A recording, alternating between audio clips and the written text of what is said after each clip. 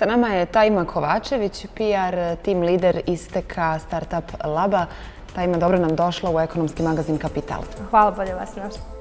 Evo, o čemu se zapravo radi u Sarajevu na elektrotehničkom fakultetu se održava e, prvi internacionalni Start Lab?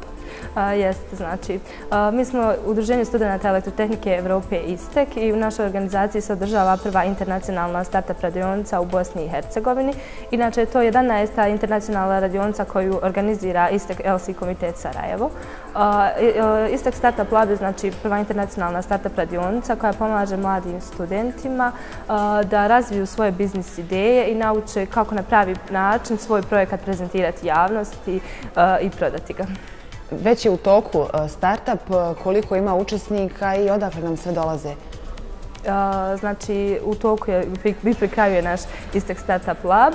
Učesnici su tu iz različitih e, lokalnih komiteta Evrope. Tu su iz Madrida, iz Krakova, iz Hamburga, e, iz Ankare, iz Istanbula, iz Atine, znači iz Beograda, iz Zagreba. Imamo ukupno 12 učesnika e, i oni su tu došli da učestvuju na prvoj internacionalnoj startup radionici.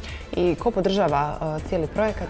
Pa cijeli projekat je podržan od našeg fakulteta, elektrotehnički fakultet univerziteta u Sarajevu i tu smo podršku našli ispred Bizu akceleratora kao startup kompanije te Atlant BH koji nam pomaže pri realizaciji akademskog dijela radionice. Vi ste svoje radionice podijelili na taj akademski dio i neformalni dio. Koja je zapravo razlika? Šta to mogu učesnici naučiti na jednom, a šta na drugom? Pa prije svega, pošto je riječ o radionici, taj akademski dio je fokus e, sa cijelog održavanja e, i na akademskom dijelu koji je podijeljen u tri dijela. E, znači, učesnici će imati priliku da nauče kako da odaberu pravu ideju, znači da prepoznaju ideju, da je to biznis ideja koju mogu da razvijaju. U drugom dijelu akademskog dijela naučit će kako tu ideju pretvoriti u projekat, odnosno naučit će programirati u Ruby on Railsu, a u trećem dijelu će se baviti marketingom i kako plasirati taj isti projekat na tržište. A neformalni dio radion radionice, upoznavanje Sarajeva, druženje sa istekerima, sa studentima elektrotehnike, razmjena iskustava, što je u stvari sam cilj razmjene i putovanja. Vjerujem da je taj dio onako i najdraži studentima, ali evo kada se tiče radionica, koje su najposjećenije bile? Šta je to onako najinteresantnije studentima što ste vi bili pripremili za njih? Znači što se tiče internacionalnih radionica, još im je jako zanimljiva naša tradicionalna radionica Imovie Academy koja se održava ljeti za vrijeme Sarajevo Film Festivala, također u organizaciji Iste Kelsi Sarajevo. Tada imamo jako, jako veliki broj prijava i jako je teško odabrati za ograničen broj participanata koji će da učestvuju. Također oni i sami odlučuju da dolaze neobavezno oko radionice, znači da žele tu da budu da se druže sa ostalim studentima i taj mi radionica jako zanimljiva. A što se tiče ovog neformalnog dijela, moram i to upitati gdje ste ih vodili, kakvi su utisci? Pa što se tiče neformalnog dijela, otprilike najveće se okupimo, malo neki relaksirajući dio, pošto se te radionice otprilike jako naporne, traju od 9 ujutru pa do nekih 5-6 sati na večer. Znači, baš se rade i posvijete tom radu i kasnije su ta druženja, obilazak Sarajeva, bili smo na Vazovom tornju, da vidi na Zmajevcu, da malo vide kako nam izgleda naš grad, kako živi i tako. Koje će vještine usavršiti, odnosno studenti koji prođu ove vaše radionice? Pa prije svega, naši istekeri konstantno uvršavaju te neformalne vještine koje nemamo priliku na fakultetu usavršiti. Znači, fakultet je jedno teoretsko obrazovanje u kojem nema nekog praktičnog prilično rada. Niko nas ne uči kako pokrenuti sa sobstveni posao, kako naučiti nešto više. Znači, tu su jašte organizatorske vještine, prezentacijone, komunikacijone, socijalne. Znači, jako puno vještina steknu kroz cijelu radioncu, timski rad, liderstvo, time management, kako upravljati vremenom da se sve stigne u pravom roku. Znači, jako puno vještina steknu kroz radionicu. I naravno u tome e, pomažu vrlo e, puno vaši mentori. E, jeste. Kakve osobine imaju vaši mentori koji tako mogu ponukati studente da iznesu svoju ideju i da u biti realizuju takvu ideju? Pa s obzirom da je ovo prva internacionalna startup radionica, ovo je prvi put da mi na taj način odaberemo mentore koji će raditi sa timovima i proći s njima kroz cijeli projekat.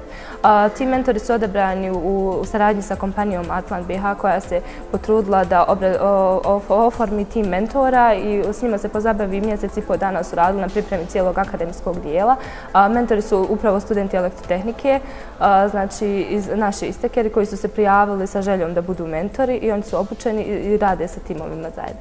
A pored mentora tu su konstantno predavači ispred kompanije Vizua i Atlanta koji su došli tu da provedu studente kroz cijeli akademski dio.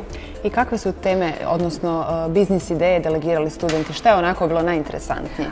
Pa prije svega svaka svi studenti su prije nego što dođu na radionicu imali zadatak onako od nas da sami osmisle već neku ideju, da tu dođu spremni i da da, da te ideje odmah iznesu. Svi 12 participanata iznijeli su svoje ideje i da ih mi ne bi dijelili onako kako mi želimo. Mi smo napravili da oni glasaju koja im se ideja sviđa. Kada su odabrane prve tri ideje, podijeljeni su organski timove zavisno od toga koja im se ideja dopada. Pa jedna od ideja bila je Energy Saver kao neka aplikacija koja će pomoći ljudima da unesu površinu svoje kuće, površinu prozora, vrstu i ona da im proračuna šta bi treba bilo potrebno da se promijeni, da bi se sačuvala energija u stanu, poboljšao kapacitet i tako. Druga je bila One Photo, One Solution kao neka socijalna pomoć u kojem će ljudi uslikaju neku pojavu na cesti, neki kvar, postave je na stranicu, a u lokalnoj vlasti imaju pristup toj stranici i mogu da vide i reaguju da poprave taj kvar. Dakle, neki spoj elektrotehnike i biznisa i nećemo davati sve ideje. Znamo ideje koliko je danas ideja važna i zlata vrijedna. Koji su planovi za budućnost? Koje programe još planirate?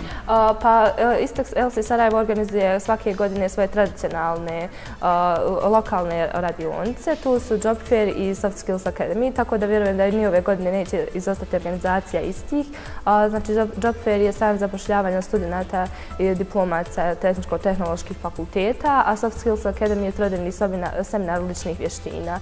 Tako da su to neke tradicionalne i na lokalnom nivou i svi studenti iz Sarajeva mogu da se prijave. I istek se svakako nastavlja. Evo, uh, neka poruka svim našim studentima studentima ne mora samo sa elektrotehnike?